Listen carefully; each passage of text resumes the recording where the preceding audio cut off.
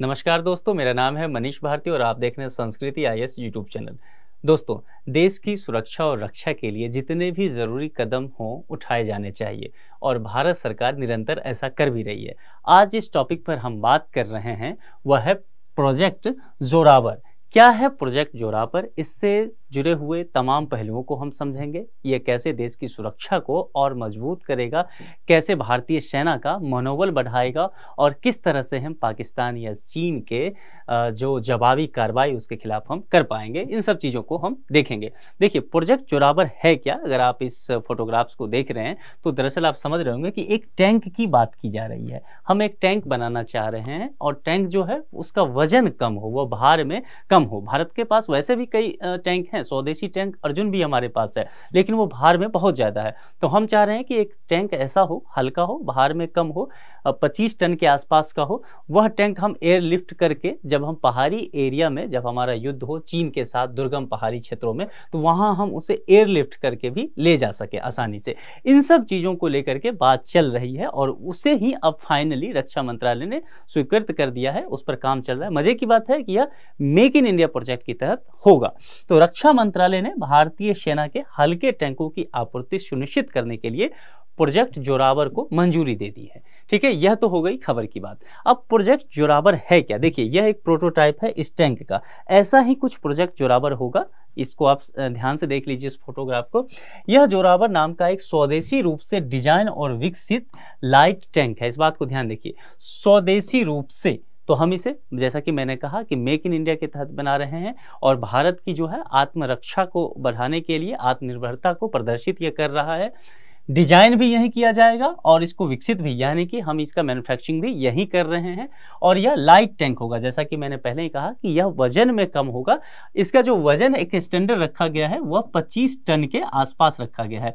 मतलब इसमें 10 परसेंट का मार्जिन हो सकता है, थोड़ा आगे पीछे हो सकता है, ऐसा माना गया है। लेकिन बहुत नहीं, ऐसा नहीं कि पच्चीस के अलावा ये बत्तीस टन का हो जाए, तीस टन का हो जाए या पैंतीस टन का हो जाए, ऐसा नहीं। या फिर ऐसा नहीं कि पच्चीस टन है तो यह और कम हो जाए, सत्रह टन पर बन जाए, ऐसा नहीं। दो चार टन आगे पीछे पीछे चलेगा, दस परसेंट का मार्जिन है इस पर इसका उद्देश्य उभरते खतरों और आधुनिक युद्ध चुनौतियों से निपटने के लिए भारतीय सेना को बख्तरबंद विंग देना है, उसको तैनात करना है। देखिए, आजकल जो है, जो अलग अलग तरह के खतरे उभर के सामने आ रहे हैं, भारत के लिए तो वैसे भी, चूँकि हमारे दोनों ही मोर्चे पे, हमारे दोनों पड़ोसियों से बहुत अच्छा रिश्ता नहीं रहा है। इसका मतलब एक है, पाकिस्तान की बात कर रहा हूँ, दूसरी तरफ़ चीन की बात कर रहा हूँ। तो उस स्थिति में और युद्ध की शैली आजकल काफ़ी आधुनिक होते जा रही है।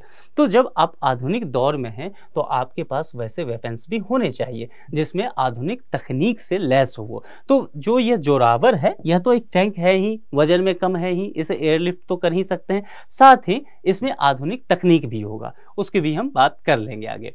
अब सबसे पहले समझ लीजिए आप के मन में यह प्रश्न चल रहा होगा कि इसका नाम प्रोजेक्ट जोरावर क्यों है? जोरावर का नाम क्यों रखा गया? कहाँ से आया? देखिए, जोरावर सिंह कहलुरिया एक सैनिक जनरल थे जो जम्मू कश्मीर के जो राजा हुआ करते थे, गुलाब सिंह, उनके साथ ये काम कर चुके हैं। और इनके बारे में कहा जाता है, ये काफ़ी प्रतापी थे, वीर योद्धा इन्हें माना जाता है। बड़े ही लड़ाके किस्म के आदमी इन्हें माना जाता था, योद्धा। 19वीं शताब्दी में चीनी सेना तक को इन्होंने हराया था। इसके अलावा जोरावर सिंह जो जो हैं, जो डोगरा जनरल ये थे और तिब्बत पे गिलगिट बाल्तिस्तान का हिस्सा है या जैसे जम्मू कश्मीर का हिस्सा, इन सबों पर इन्होंने विजय प्राप्त किया था। ये काफ़ी जो है, अपने युद्ध कौशल के लिए जाने जाते थे, विख्यात थे। इसी वजह से इनके ही नाम पर इस प्रोजेक्ट का नाम जोरावर रख दिया गया और हो गया प्रोजेक्ट जोरावर। अब समझते हैं कि आखिर इस टैंक की ज़रूरत क्यों पड़ गई? ऐसा नहीं कि हमारे पास टैंक है नहीं। हमारे पास ऑलरेडी जो है टी सेवेंटी टू है, हमारे पास टी नाइन्टी टैंक है, हमारे पास अर्जुन जो हमारा सौ देशी टैंक है, वह भी हमारे पास अवेलेबल है। फिर भी हमें प्रोजेक्ट जोरावर लाने की ज़रूरत क्यों पड़ गई? देखिए 2020 का साल यदि आपको याद हो और आपके जहन में पेंगोंग सो, एक झील है ये, यह आपके जहन में हो तो यहाँ देखिए LAC के पास है।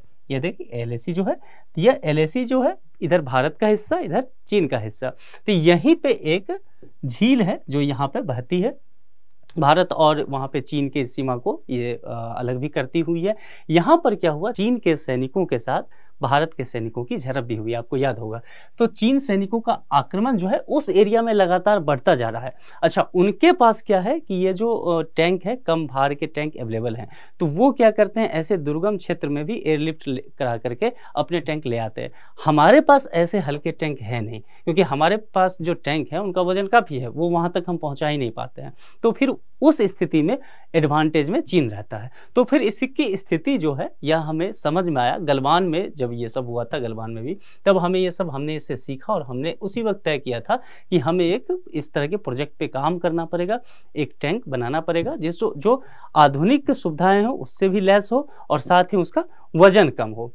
तो इस पर हम तेज़ी से अब काम कर रहे हैं। पूर्वी लद्दाख एल के साथ, जैसा कि मैंने बताया, यह जो दुर्गम क्षेत्र है, यहाँ इसका ज़रूरत पड़ेगा। कई सारे दर्रे हैं जहाँ से गुजरना पड़ेगा। तो अब भार में कम होगा, छोटा होगा, तभी तो हम ये सब कर पाएँगे। जैसे कि टी सेवेंटी टू जैसे भारी टैंक जो है, यह इस काम को नहीं कर पाते हैं, वहाँ तक पहुँच ही नहीं पाते हैं। जैसे कि रूस का हमारे पास टी सेवेंटी टी नाइन्टी जैसा मैंने बताया, स्वदेशी अर्जुन है। अब जैसे कि आप मान लीजिए कि टी सेवेंटी टू हुआ, इसका जो वज़न होता है तकरीबन तकरीबन जो आप मान लीजिए सेवेंटी टू का, इसका वज़न पैंतालीस टन के आसपास होता है, ठीक है? और टी नाइन्टी ये हालाँकि जो है टी नाइनटीन जो है, इससे हल्का है टी सेवेंटी टू से, इसका वज़न 40 टन के आसपास होता है। और स्वदेशी अर्जुन जो है, इसका वज़न काफ़ी ज़्यादा होता है, और इसका वज़न होता है इकसठ टन के आसपास, ये मतलब समझ लीजिए, इकसठ टन का ये एक टैंक होता है। तो इसका एयरलिफ्ट कराना लगभग लगभग नामुमकिन है। आप सोचते होंगे कि इकसठ टन इतना ज़्यादा वजनदार टैंक कैसे? देखिए, इसका कारण जो है, इसका हम काम लेते हैं रेगिस्तान वाले क्षेत्र में। तो जो पाकिस्तान का बॉर्डर उधर से पड़ता है, रेगिस्तान, राजस्थान वाला, वहाँ पर यह तैनात रहता है। तो इसीलिए इसका वज़न भी उसी तरह से रखा जाता है। लेकिन अब इतने वज़न वाले टैंक हमें मतलब चाहिए तो लेकिन जब हम ऊपरी पहाड़ी हिस्सों में लड़ने जाएँगे, दुर्गम क्षेत्रों में जाएँगे तो इसका एयरलिफ्ट करा के हम वहाँ नहीं पहुँचवा सकते हैं।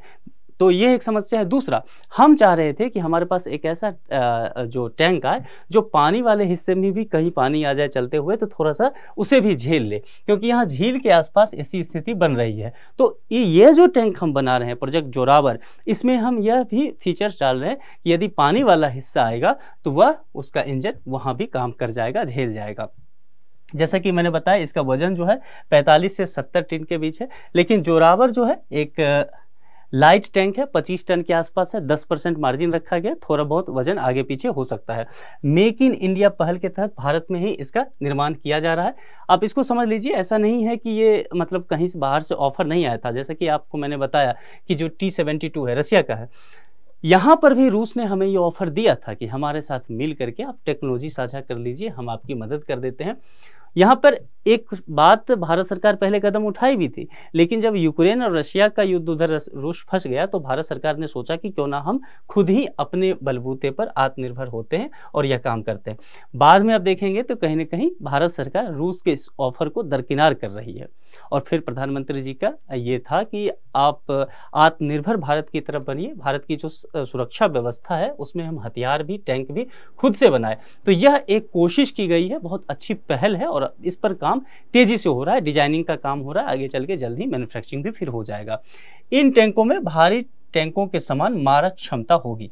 अब यहाँ विशेषताएँ में समझ लीजिए कि कहीं आपके मन में ऐसा तो नहीं आ रहा होगा कि जो टी सेवेंटी टू है या टी नाइन्टी है या अर्जुन जो टैंक है, अब ये भारी भरकम टैंक हैं तो मारक क्षमता भी इनकी ज़्यादा होगी। यही एक खासियत है कि प्रोजेक्ट जोरावर होगा तो हल्का होगा 25 टन के आसपास ही। लेकिन मारक क्षमता क्षमता के साथ कोई कंप्रोमाइज नहीं किया जाएगा इसमें। इसकी मारक क्षमता बहुत अच्छा होगी। दूसरा जो है आर्टिफिशियल इंटेलिजेंस पे ये काम करेगा। और साथ ही इसमें ड्रोन भी लगा होगा। मैं आपको एक दिलचस्प बात बताऊँ कि मान लीजिए पहाड़ी हिस्सा है, ठीक है? अब यहाँ पर चीन की सेना है। यहाँ पर चीन की सेना है और यहाँ पर भारत का यह टैंक है, ठीक है? भारत का टैंक है। तो यदि हमारे पास ड्रोन लगा रहेगा यहाँ पर। ड्रोन रहेगा, तभी तो हम ये जान पाएँगे इधर, यहाँ पर, यहाँ से देख लेंगे कि चीन की सेना यहाँ पर क्या गतिविधि कर रही है। ठीक है? तो इस टैंक में हम ड्रोन भी लगा रहे हैं। तो देखिए कितना दिलचस्प ये बात है। अपने हल्के वज़न के कारण ये टैंक ऊँचे पहाड़ों से, दर्रों तक आसानी से जा सकते हैं। दूसरा, इस टैंक को अलग अलग इलाकों में संचालित भी किया जाएगा। अलग अलग इलाके कहने का मतलब है, भारत की जब आप भौगोलिक स्थिति देखेंगे तो हमारे यहाँ पहाड़ भी पड़ता है, पठार भी पड़ता है, झील भी पड़ता है, रेगिस्तान भी है तो हमारा बॉर्डर भी ऐसा ही है। तो सभी तरह के बॉर्डर के एरिया में है, इसको इस तरह से डिज़ाइन किया जाएगा कि अलग अलग जगहों पर हम इसे रख सकें। तो हाई एल्टीट्यूड एरिया जो है, वहाँ के लिए भी इसके इंजन को तैयार किया जाएगा। द्वीप के जो क्षेत्र हैं वहाँ पे और सीमांत इलाका जो है, जो यहाँ पे हमारी बाउंड्रीज साझा करते हैं हम दूसरे देशों के साथ, उसके लिए भी इसे तैयार किया जा रहा है। तो आने वाले समय में ये उम्मीद है कि भारत के पास प्रोजेक्ट जोरावर नाम से कई टैंक जोरावर के नाम से हमारे पास उपलब्ध होंगे और हम दुश्मन की आँखों में आँखें डाल करके उसकी चुनौतियों का सामना कर रहे होंगे। इस वीडियो में इतना ही। जल्द ही मिलेंगे। धन्यवाद।